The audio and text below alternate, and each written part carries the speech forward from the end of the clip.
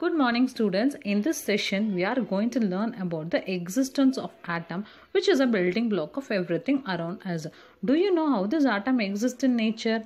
The atom that makes an element sometimes exists independently like the noble gases helium, neon and argon and mostly in a combined form as a molecule or a compound. So atoms usually exist in two forms one as a molecule and other as an ion. What is an ion? Why atoms forms an ion? Atoms when they get charged they form ions. The atom becomes ions to attain a stable configuration by forming a molecule or a compound by combining with other ions. So the electrically charged atom is called as ion. When an atom loses electron, it forms positively charged ion called as cation. If an atom gains electron, it forms negatively charged ion called as anions. An atom loses or gains electrons to have 2 or 8 electron in its outermost shell, which is considered as a stable configuration to form a compound. Some atoms could not lose or gain electron to form a stable compound, so they shares electron to become a compound.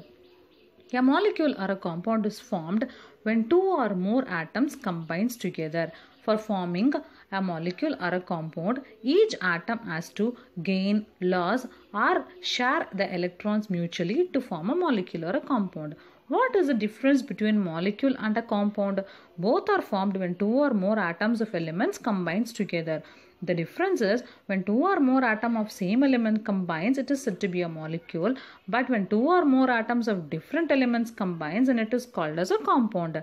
For example, hydrogen, H2, O2, Cl2 are considered as a molecule, but CH4, H2O, NaCl are considered as a compound. Molecules are of different types.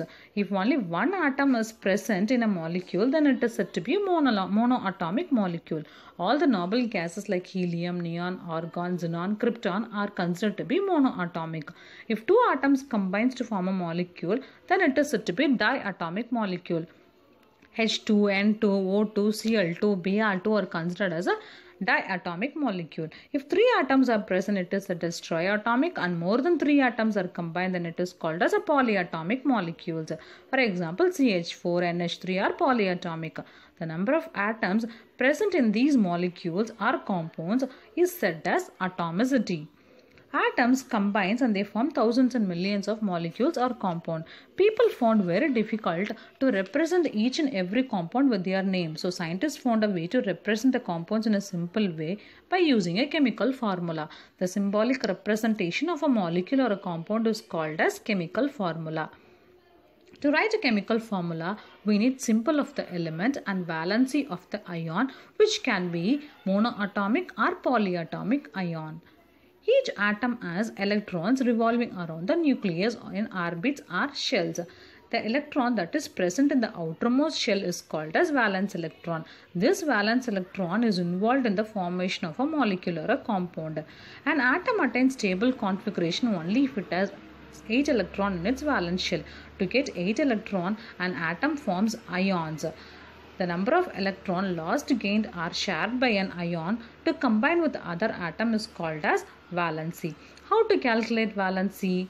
If valence electron is less than 4, then valency is same as valence electron. If it is greater than 4, then valency is calculated by subtracting valence electron by 8. The valency is given as 1 plus, 2 plus, 3 plus for cation based on the number of electron lost by an atom and as 1 minus, 2 minus and 3 minus for anion based on number of electrons gained by an atom. Cation and anion may be monoatomic or polyatomic. There are certain rules to be followed to write a chemical formula. First is valencies of ion must be balanced so we have to cross the charges of both the ions. Second is symbol of the metal should be written first followed by a non-metals while writing a formula for a compound. The third is if the ion is polyatomic it should be enclosed in a bracket if the number is more than 1. For example, to write the formula for calcium oxide, calcium is a metal, so it is its symbol is written first. Oxygen is a non-metal, so its symbol is written next to calcium. The valency of Ca is 2 plus, O is 2 minus, written on the top. After crossing the charges, as both the valency are same, the formula can be simplified and written as CaO. See this example to write the formula of K2O and Mg3N2. The valencies of monoatomic and polyatomic ions are considered to be very important in writing the chemical formula by the crisscross method. So by this we can write the chemical formula for a compound.